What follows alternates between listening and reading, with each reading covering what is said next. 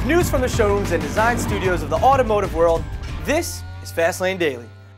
Welcome to Fastlane Daily, the show that brings you your daily dose of automotive news.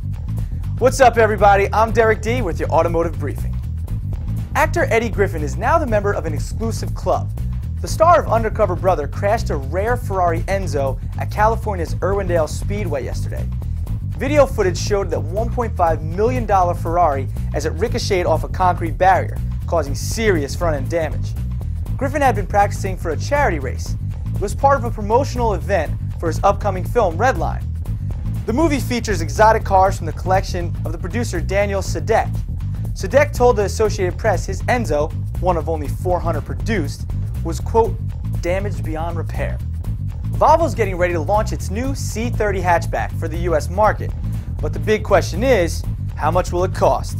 And that's exactly what Volvo's asking us. The company is engaging in some tricky market research to determine a suitable price for the upcoming three-door. On its website, car shoppers can spec out a C30 with options and accessories.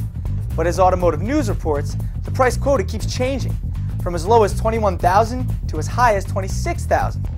That's because Volvo wants to get a better idea about how customers respond to different pricing schemes. Let's just hope the same thing doesn't happen when they sit down with Johnny Salesman. Next up, is the Corvette SS coming soon to a car show near you? More in the Internet Rumor Mill after this. Courtesy and cooperation and sportsmanship are practiced until they become habits.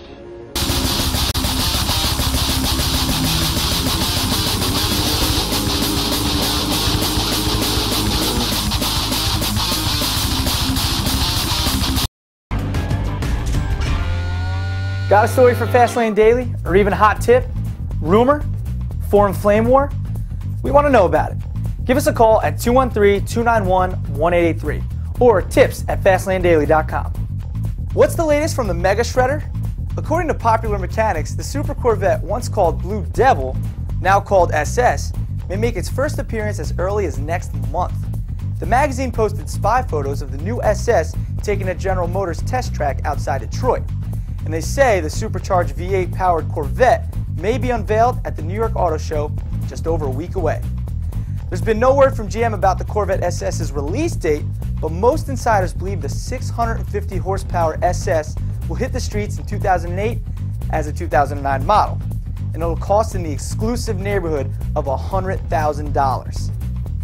That wraps up Fastlane Daily for today. Tune in tomorrow when we'll see if the undercover brother does better with the Porsche GT3. See you later.